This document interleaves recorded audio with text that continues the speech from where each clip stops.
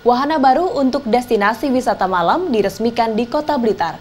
Namanya Taman Pecut. Ya, taman bermain dengan pecut atau cemeti Samandiman ini dihiasi dengan air mancur warna-warni. Seperti apa keindahan taman ini? Berikut liputannya.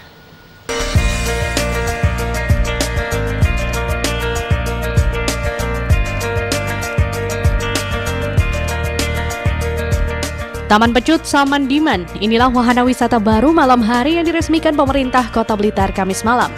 Wahana wisata dengan luas sekitar satu hektar ini berisi taman serta air mancur warna-warni. Lokasinya yang berada tepat di jantung Kota Blitar ini membuatnya mudah untuk dituju baik dari stasiun kereta maupun terminal kota. Peresmian taman baru ini kontan mengundang antusias ribuan warga Blitar dan sekitarnya untuk berkunjung. Di taman ini, warga bisa bebas bermain dan mengekspresikan diri seperti bersuap foto dengan latar belakang pemandangan taman. Ya. Kepedulian beliau Bapak Wali Kota Blitar terhadap seluruh masyarakatnya, apalagi eh, Lebaran 1438 Hijriah.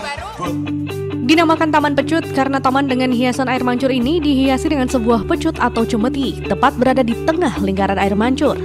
Taman ini dibangun sejak setahun yang lalu dan diharapkan bisa membuat wisatawan betah berlama-lama di Blitar.